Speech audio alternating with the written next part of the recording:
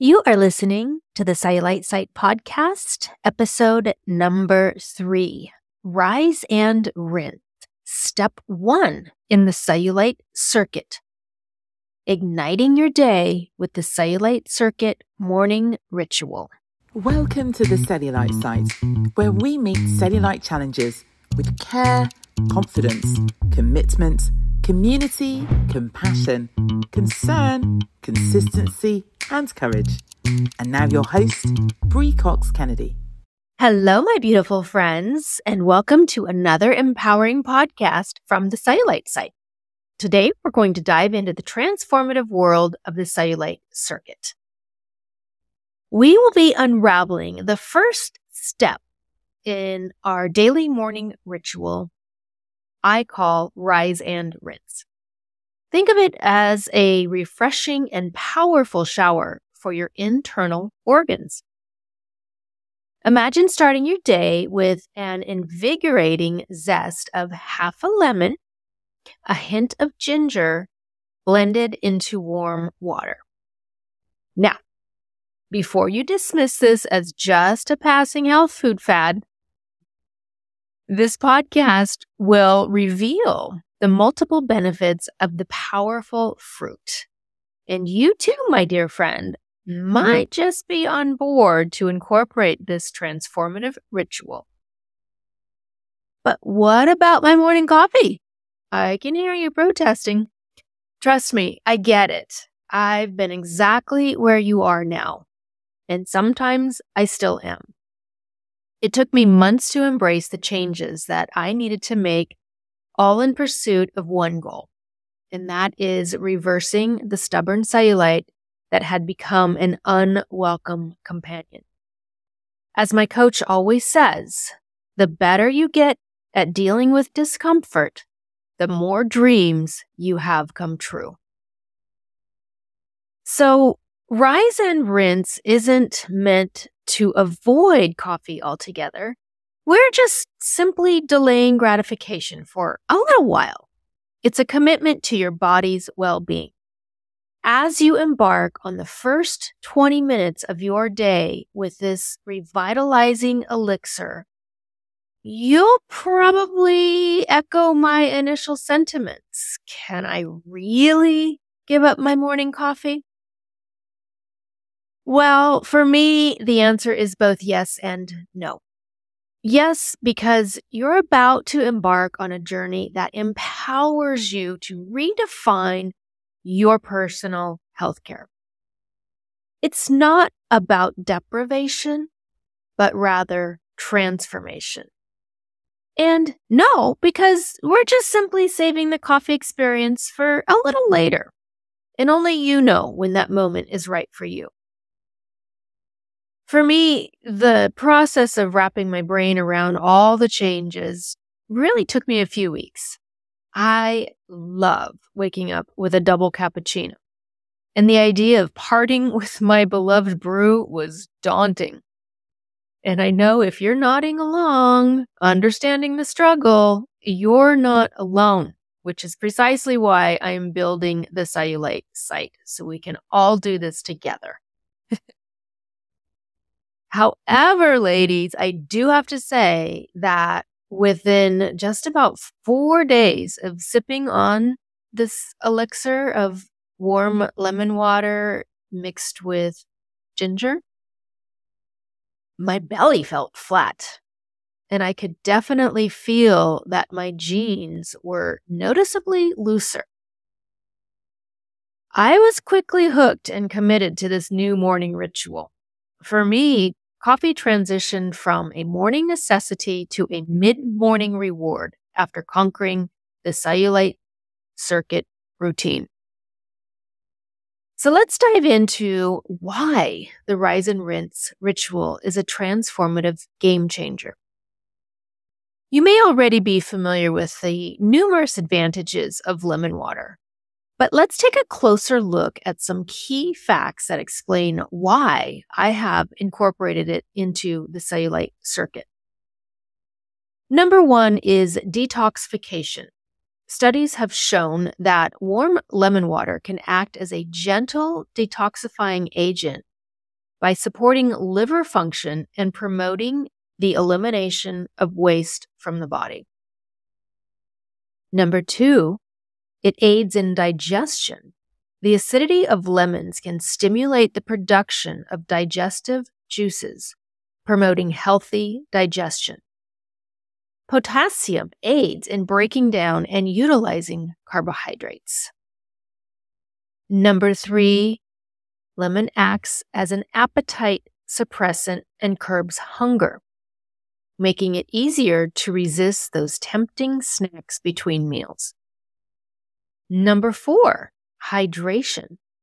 Lemon water is a good source of hydration, and starting your day with a glass of warm lemon water can help replenish the fluids lost during the night and kickstart your metabolism. And number five, rich in vitamin C. Lemons are a rich source of vitamin C, which is known for its immune boosting properties. Consuming warm lemon water in the morning can contribute to your daily vitamin C intake.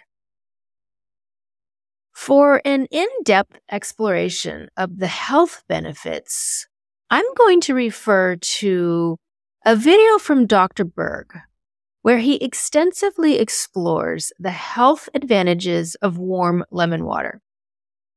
For our discussion, we will narrow our focus to its potential impacts on weight loss and anti aging effects. To delve into these specific aspects, I'll insert a portion of the video. All right, number three, weight loss. Now, lemon water does not directly help you lose weight. It can indirectly help you lose weight. Now, quite a few studies on animals have shown this, but I want to help you understand the mechanism. Certain phytonutrients in lemon water stimulate significantly lower blood sugars.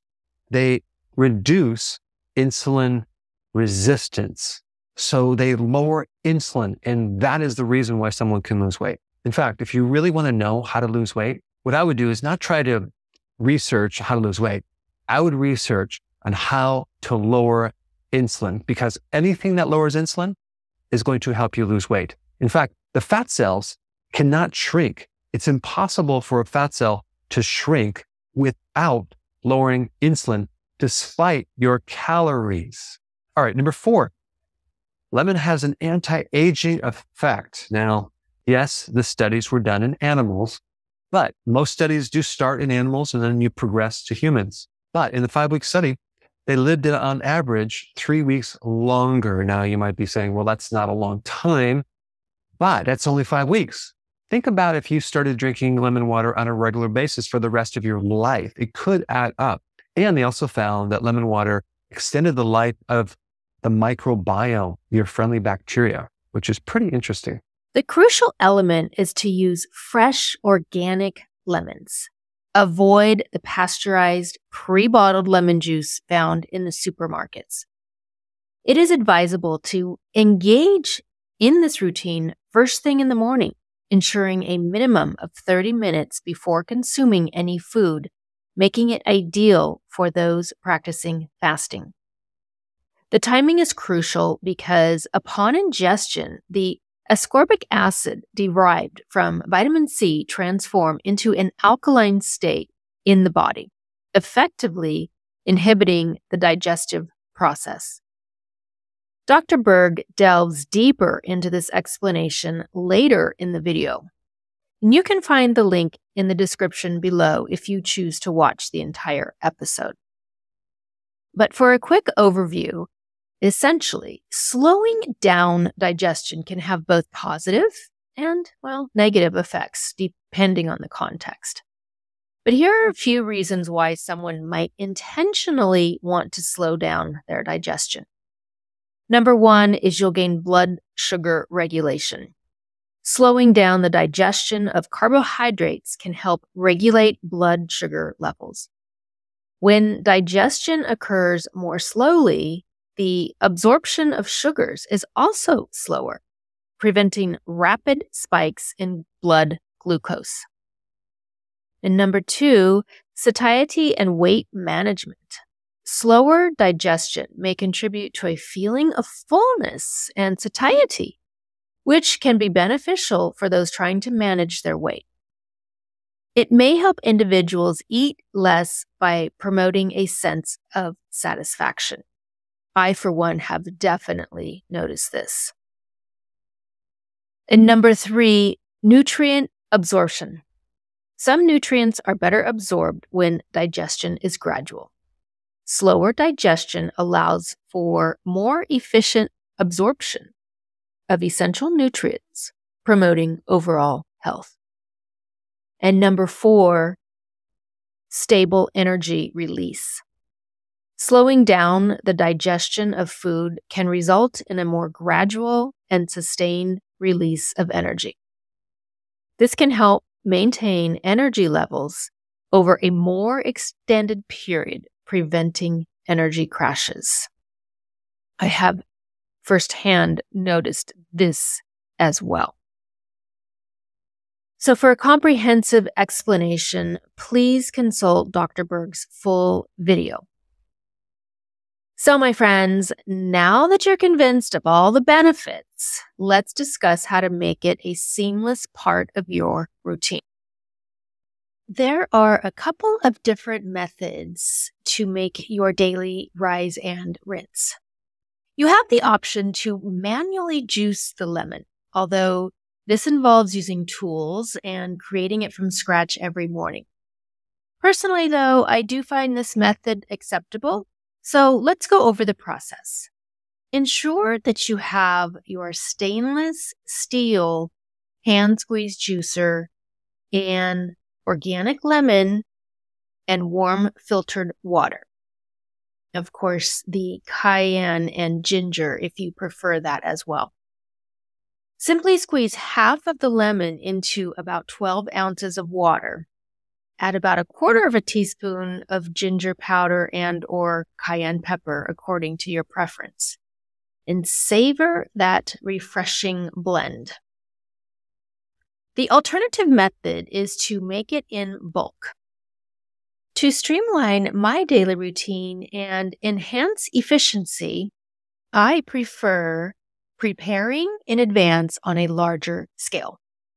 Lemon juice, when properly sealed, can be stored in the freezer for up to three months without affecting its texture or taste. When opting for larger juice batches, I prefer the convenience of my Breville juicing machine. If you're considering investing in a juicer, I wholeheartedly endorse this one. While it comes with a slightly higher price tag than its competitors on the market, its durability has far surpassed other options, providing longevity well beyond juicers with only a year's lifespan. It's a wise and enduring investment for your entire cellulite circuit journey. I'll add a link to the product in the description below. I typically extract juice from the entire lemon, including the rind. So I immerse the lemons in baking soda water before juicing just to make sure that I remove any dirt particles. And I personally love the taste of ginger coupled with its numerous health benefits. So I'm prompted to juice a palm sized piece alongside eight to 10 lemons. Once your juice is mixed, pour it into ice cube trays and allow them to freeze completely. Once frozen, transfer the cubes into an airtight freezer storage bag or container. Depending on the quantity of lemons you began with, you're now stocked up for success every morning for a few weeks. My evening routine involves taking a frozen cube before bedtime, placing it in a mug, and leaving it in the refrigerator to thaw overnight. By morning, it's completely melted. Then I fill the mug with filtered water and warm it in the microwave for only a minute and a half. It's important to note that you're warming the lemon, not heating it. Heat can degrade certain nutrients, such as vitamin C. The heat may also have a negative effect on the beneficial enzymes and energetic properties, rendering the juice much less effective. The recommended ratio is approximately one tablespoon of lemon and ginger juice to about 12 ounces of water. Lemon is very acidic, and frequent exposure to high acidity levels may contribute to tooth enamel erosion over time. So, this is why we emphasize the importance of diluting your lemon. This incredibly comforting yet revitalizing beverage is something I typically enjoy while writing my blog posts, making my bed, or preparing my daily cellulite cleanse, which I will cover in episode four. It remarkably programs my mindset for healthy food choices throughout the entire day. And as I mentioned earlier in this podcast, but Worth mentioning again, within just four days of incorporating it into my daily routine, I noticed a flattening sensation in my stomach and my jeans felt noticeably looser. The discomfort of that bloating feeling vanished, providing me with an exciting jumpstart on my new wellness program. While we are focusing on how to improve our overall health, I would be remiss if I didn't engage in kitchen tool talk. While aluminum is a commonly used material in kitchen tools and cookware, there are some concerns about its potential health risks. There are multiple reasons why some people choose to avoid using aluminum tools in the kitchen or allowing food to come into direct contact with aluminum. Here are a couple of highlights that you may want to consider. Aluminum leaching. One of the main concerns is that aluminum can leach into the food, especially when cooking acidic, lemon, or salty dishes. Acidic foods like tomatoes or the lemon and citrus fruits can react with aluminum, leading to increased levels of aluminum in the food. Which then brings us to health concerns. High levels of aluminum intake have been associated with various health issues, including neurological disorders like Alzheimer's disease. While the link between aluminum exposure and Alzheimer's is not fully established, some studies suggest a potential correlation, and that is enough for me to not have it in my kitchen at all. For those reasons and countless others, please do not purchase or use aluminum tools in your kitchen. Rather, look for handheld juicers that are made with stainless steel. For your convenience, I've provided links to all the products mentioned in this podcast. In the description, you'll find affiliate links to the recommended products. So, my friends, here's to happy juicing and the radiant start to your day with Rise and Rinse, the first step in the cellulite circuit. I hope you're able to order your products and get started right away. Join us in episode four, where we will discuss the second step in the cellulite circuit. Until then, empower your journey one day at a time, my fabulous friends. I love you, and I will see you in the next episode. Thank you for tuning into the Cellulite site. We appreciate you being part of our community dedicated to exploring and sharing insights on cellulite health. Connecting with confident women like you is what makes this journey so fulfilling. Our mission is to simplify your path to progress and spare you from months of uncertainty. If you're ready to take your journey to the next level, visit thecellulitesite.com to grab your cellulite circuit checklist. Embark on your transformative journey today, and in the coming weeks, witness firsthand how these concepts can make a positive impact. Remember, it's not just about absorbing information intellectually, it's about committing to the work and celebrating the results. A quick reminder the content shared is based on personal experiences and perspectives and is not medical advice.